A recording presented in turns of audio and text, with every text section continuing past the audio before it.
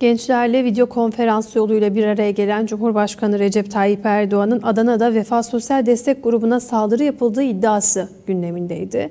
Ve isim vermeden Adana'daki olaydan dolayı tutuklanan CHP Yüreğir Gençlik Kolları Başkanı Eren Yıldırım'ı hedef aldı. Gezi Parkı'ndan örnekler verdi.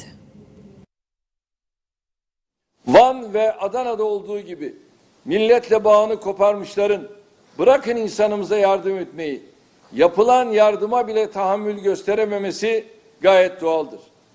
Gezi olaylarında ağaç bahanesiyle sokakları ateşe verenler, polisimize kurşun sıkanlar, esnafın malını mülkünü yağmalayanlar da aynı zihniyetin mensuplarıdır.